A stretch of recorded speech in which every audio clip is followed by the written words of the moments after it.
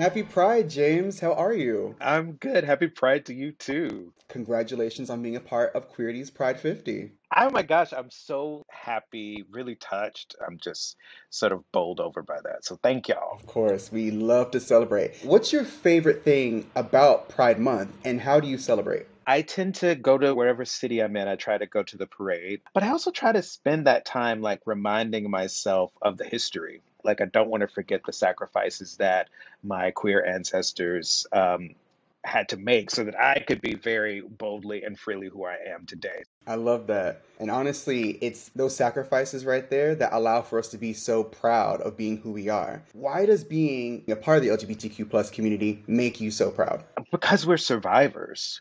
You know, we are resilient. We are the spark of creation and culture in many instances. But I also think that it's a community that historically has found ways to like take care of each other. And so being a part of that community in the same way that being a part of the black community, I have a great deal of pride because in spite of every obstacle, we find our ways to exist boldly, beautifully, and authentically in the world. I love being a queer person. I love that um, my art get allows me to talk about those issues that are in our community, and it just feels like a real blessing to me. Speaking of your art, your Pulitzer Prize winning Tony Award nominated play Fat Ham, receiving all the flowers it truly deserves. Let's talk about it. Fat Ham is hmm. uh, a celebration of all things black, queer, and Southern. And as you know, two Southern girls from North Carolina, we understand that. Um, for you, yes.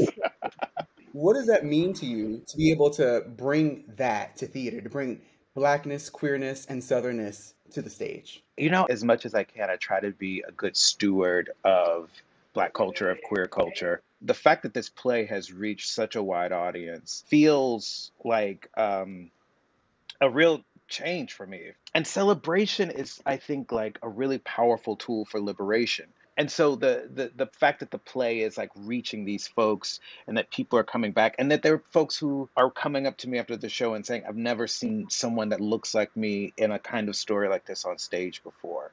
That you know, that is like a mini celebration every time I have that experience with someone. It just feels like, yes, mm. like I'm glad that a thing that I made is like having an impact on people. As someone who has seen the beauty that is Fat Ham, I can say it is definitely giving a resounding yes. It was giving yes all the way.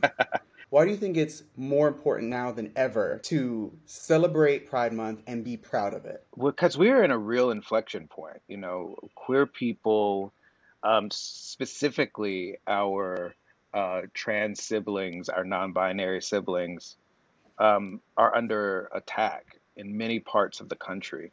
It's a very scary time. And I want to be a part of the energy that's trying to depict us with humanity, with authenticity, with specificity. And I think that those things actually do a good job of combating the negative images of who we are and how we're existing in the world.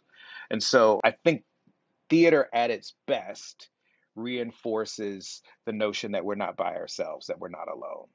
There's not just one of us, we are many, mm. and we're not going anywhere. you